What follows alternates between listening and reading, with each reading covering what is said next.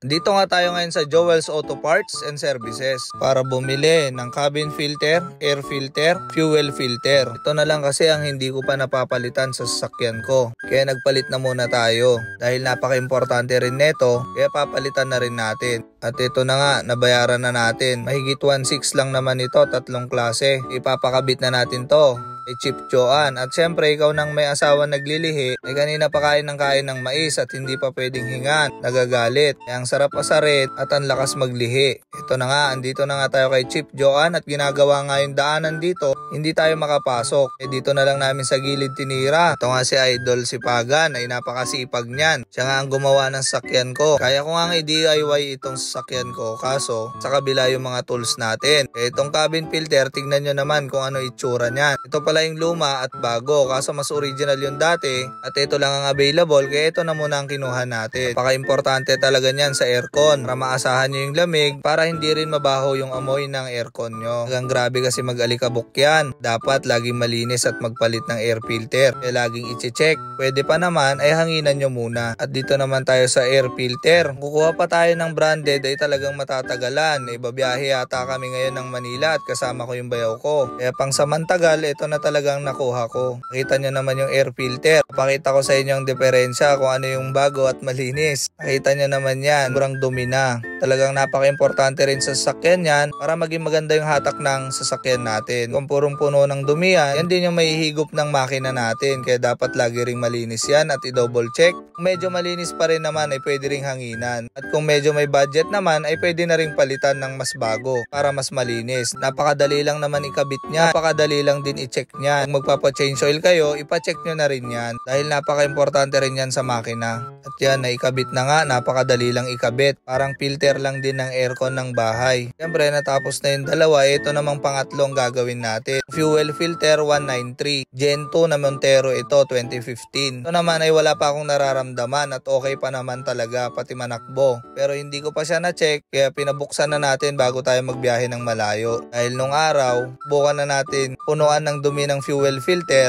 ay nako naglo-low power at hindi makahatak na parang lunod. Kaya mas maganda na rin mapalitan yan. Second hand lang naman tong sasakyan, kaya dapat palitan na rin natin yan. Dahil hindi natin alam yung mga pinagkakarga. Dating may-ari nito, puro ordinaryong diesel lang kaya napakarumi na. Kahit walang sign, pilitan na rin akong palitan para makasigurado sa long drive. Ganyan lang pala magbaklas nito, napakadali lang din. Pati yung sakit dito ay tatanggalin, dalawang hose at tatlong tornilyo sa ibabaw. Siyempre nakaklam sa loob yan kaya dapat hugutin. At ito na nga no nabaklas, na sorpresa rin ako. Maganda pang manakbo ay napakarumi na nga pala. Nakita nyo naman yung fuel filter na bago sa luma. Sa mga medyo matataas ng odo, ay kailangan nyo na rin magpalit ng mga fuel filter nyo. Kita nyo naman kung gaano kadumi yung luma. At yung mismong lalagyan ng fuel filter ay kailangan malinisan mabuti. Kaya nalinisan na nga ni Pagan para ilagay yung bagong fuel filter ay sobrang linis na. Ito na nga yung fuel filter housing ay napakalinis na. Siyempre papalitan nyo rin ng bagong o-ring. Kasi yung fuel filter na kasama ay may o-ring na kasama. Lalagyan ng konting grasa para mailapat mabuti. Ito nga pala ay may guide.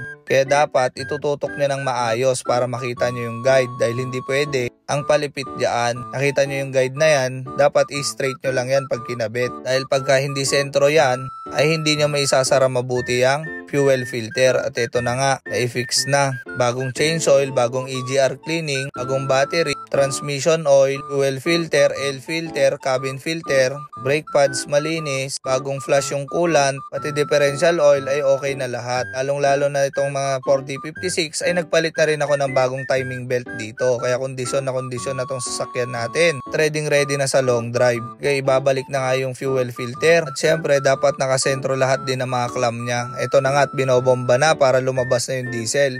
Pag na-bleed nyo na yung diesel, ay pwede nyo nang ilagay yung hose. Kaya kailangan pang bombahin para umakyat yung diesel kasi bago yung fuel filter natin. Akin kasi medyo maselan. Pwede na at medyo maluwag-luwag naman ay pwede nang pagpapalitan yung mga dapat palitan kahit basic maintenance lang para ready rin kayo sa sakyan nyo. Kahit ilong drive nyo ay wala kayong abala. Maraming nga dyan iba. Maraming hindi alam sa makina at sa mga basic maintenance. Pag nasira, medyo mas masakit sa ulo dahil hindi nila naagapan yung mga dapat nilang palitan. Iba pa rin yung mga nanonood kayo ng ganito para kahit papano may natututunan matutunan tayo. Dami ko nang binenta at biniling sasakyan ay talagang nagbe-basic maintenance muna ako. Kaya maganda pa rin ipacheck nyo mabuti yung mga makina nyo. Mahirap magtiwala sa makina, lalong lalo na at pag second hand. Mas maganda yung alam mo kung ano yung mga napalitan na sa mga sasakyan mo at na-maintenance mong mabuti. Nandito na nga ako sa bahay para magpalinis din ng sasakyan kasi nagpapabapping si Papa ay sumabay na rin ako dito. Dahil hindi pa tapos si Bapping yung mga napinturahan namin,